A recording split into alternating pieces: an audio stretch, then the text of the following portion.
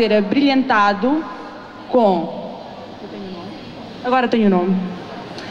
Angélicos Música. No canto temos Margarida Ferreira dos Santos, uma salva de palmas. E no órgão, Carlos Jorge Lopes. Espero que gostem do- das propostas de Atia Castelo.